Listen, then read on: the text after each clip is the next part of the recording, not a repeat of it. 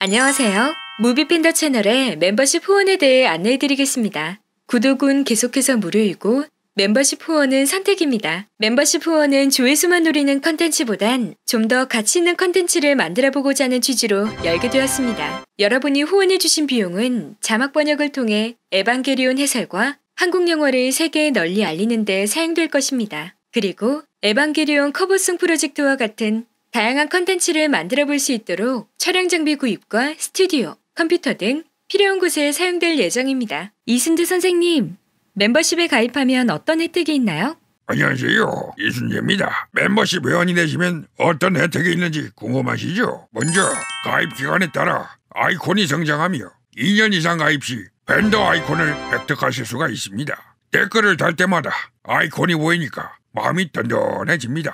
멤버십은 시네필, 후원자, 제작자 등급 세 가지가 있습니다. 시네필 등급은 댓글에 멤버십 아이콘이 보이게 됩니다. 후원자 등급은 아이콘과 더불어 엔딩 크레딧에 후원자 명단에 이름이 들어가게 됩니다. 제작자 등급은 flex를 보여주실 수 있는 등급입니다. 엔딩 크레딧에 제공 명단에 노출이 되며 좀 더 큰 글씨로 배치가 됩니다. 여러분의 후원금은 허투루 쓰지 않고 양질의 컨텐츠를 만들어 되돌려드리겠습니다. 무리해서 후원하지 마시고 부담이 안 되시는 정도로만 후원해 주세요.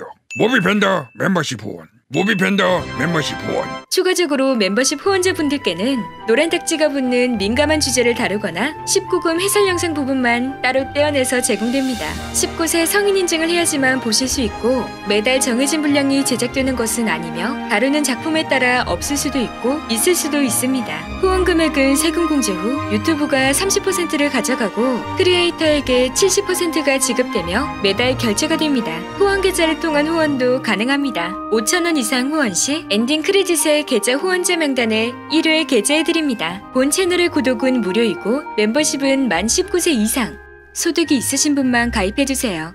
학생이거나 소득이 없으신 분들은 절대 가입하지 마시고 광고 시청과 좋아요, 구독으로 응원해주세요.